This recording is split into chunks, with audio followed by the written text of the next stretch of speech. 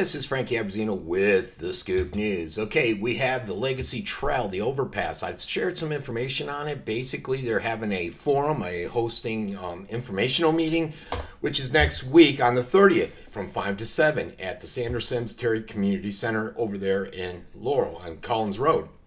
Um, basically they want to talk about the Laurel Road bypass. If you notice, if you drive Laurel Road right there at the Legacy Trail where the light is, there's been some construction. It's caused somewhat of a headache.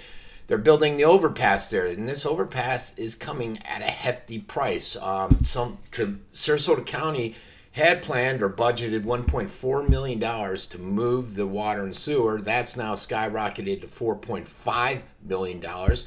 Um, construction for the bridge is just under two million, which is um, about half a million for the design, which is incredible. Six hundred fifty thousand dollars for the uh, county utilities, and then um, overall, it's actually I think it's moved closer to like 3.1, 3.2 million when you factor all that in.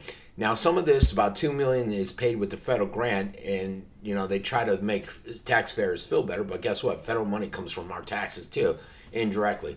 Um, there's more. There's more to the story. I'll put a link above this uh, video if you want to go check it out and see the specifics. This project's going to start though right like the week after that informational meeting. So I think we're on November 6th they're going to get it going, and um, it should be done sometime in late 2018, I believe.